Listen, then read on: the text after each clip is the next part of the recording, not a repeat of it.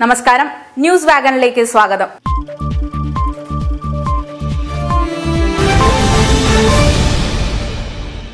Lockdown കാലത്ത് സമയം പോകുന്നില്ല. വീട്ടിൽ വെറുതെ ഇരുന്ന് ബോറടിക്കുന്നു എന്നാണ് മിക്കവരുടെയും പരാതി.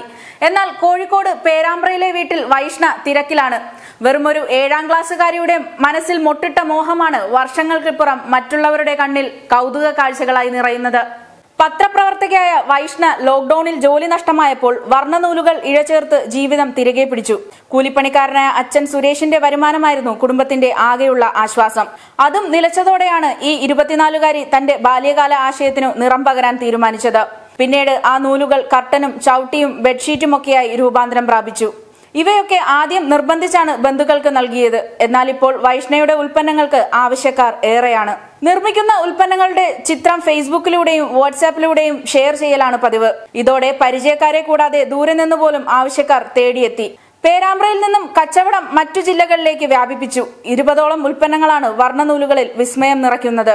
കൊറിയറിലൂടെയാണ് ആവശ്യക്കാർക്ക് സാധനങ്ങൾ എത്തിക്കുന്നത്. പണം പിന്നീട് വാങ്ങുന്നതാണ് രീതി.